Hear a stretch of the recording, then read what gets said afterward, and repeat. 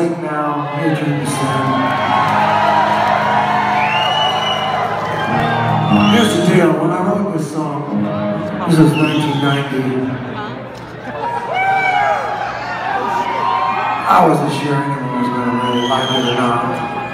I know I liked it. I knew I just had to work hard on writing the record and do the best I could, you know, and be happy with it when it was finished.